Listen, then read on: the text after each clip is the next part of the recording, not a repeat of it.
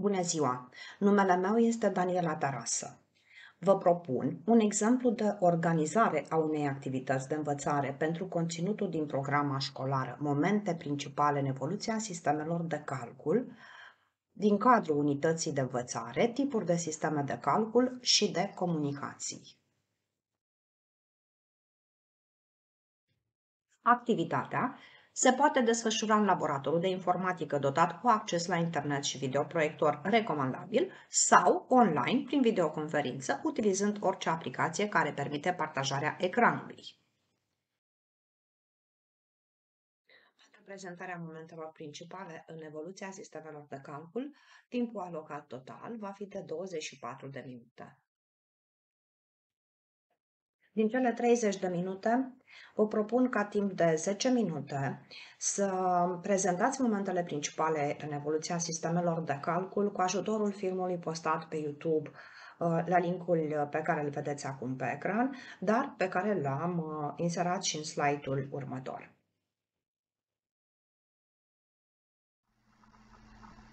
Bună ziua, dragi elevi! Lecția de azi se numește Evoluția sistemelor de calcul Numele meu este Daniela Tarasă.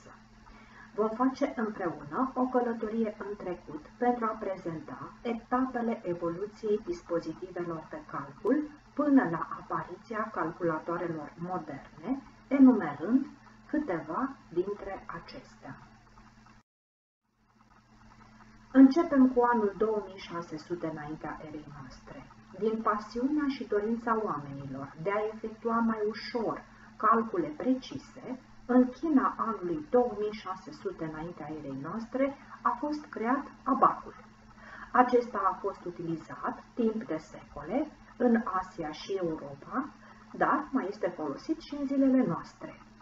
Abacul poate fi descris ca primul computer și cel mai avansat sistem de calcul din acea perioadă. Trecem acum între anii 150 și 100 înaintea erei noastre, a fost construit mecanismul de la Antichitera. Acest mecanism este considerat un calculator mecanic antic realizat pentru calculul pozițiilor astronomice. Acest mecanism a fost recuperat între anii 1900 și 1901 dintr-o epavă găsită lângă insula Antichitera, de acolo provenindu-i și numele. Din punct de vedere mecanic, acest mecanism este comparabil cu un ceas elvețian din secolul al XIX-lea.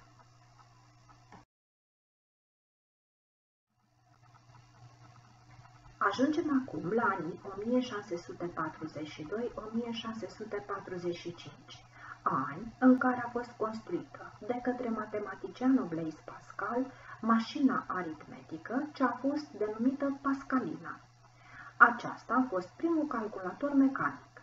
Blaise Pascal a fost motivat să creeze această mașină pentru a-l ajuta pe tatăl său, care a fost contabil și a avut nevoie de ajutor pentru a realiza calcule mai avansate.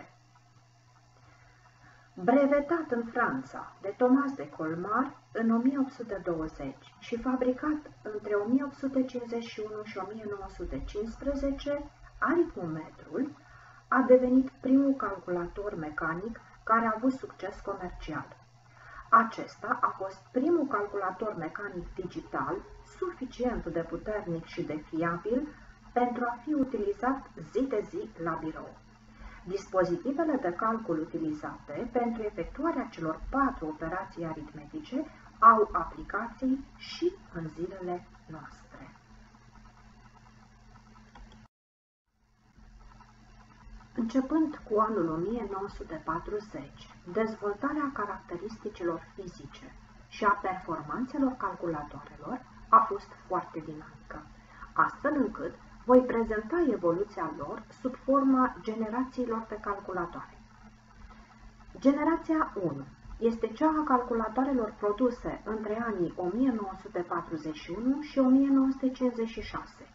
Dintre acestea am ales să vă prezint trei calculatoare și anume Z3 a apărut în anul 1941, a fost construit de inginerul Conrad Sus și a fost utilizat la decriptarea comunicațiilor militare naziste. ENIAC, construit în anul 1946 în Statele Unite ale Americii, a fost primul calculator numeric digital capabil de a fi reprogramat. IBM 701, creat în anul 1954 de către firma IBM, a fost primul computer științific comercial al acestei firme și primul computer mainframe de serie.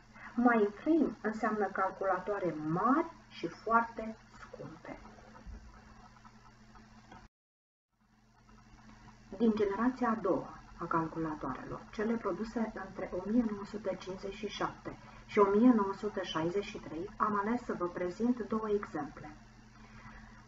Produs în România, în anul 1957, calculatorul CIFA 1, acronim de la calculatorul Institutului de Fizică Atomică, avea dimensiunea a trei dulapuri, avea o intrare de bandă de hârtie și o ieșire de mașină de scris și era capabil să rezolve 50 de operații pe secundă.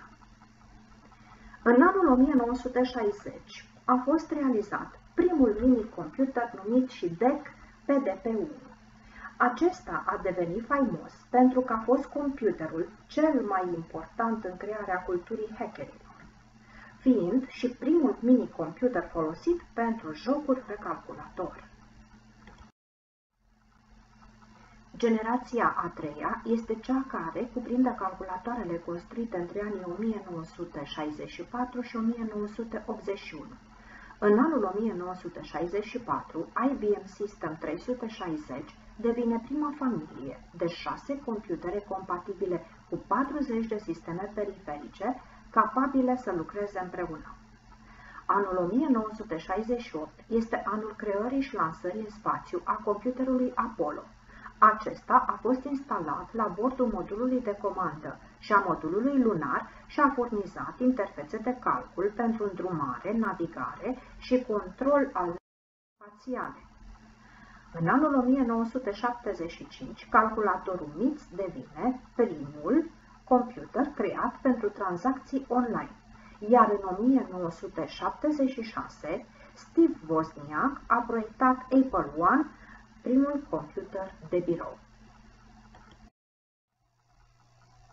Generația a patra este cea care cuprinde calculatoarele construite între anii 1982 și 1989. În anul 1983 apare Apple Lisa, primul computer cu o grafică special creată pentru interfața cu utilizatorul. Primul computer multimedia numit Amiga 1000 a apărut în anul 1985 și a demonstrat că poate depăși capacitățile audio și video ale contemporanilor săi.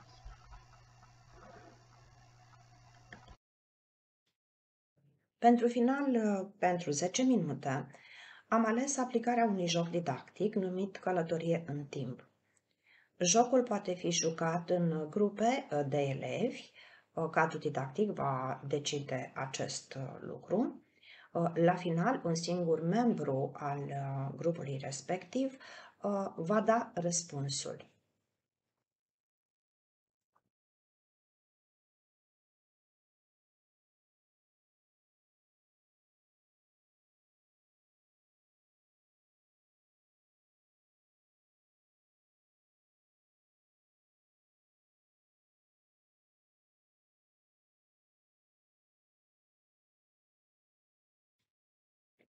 Este bine să le explicăm elevilor cu ce vor lucra în laboratorul de informatică.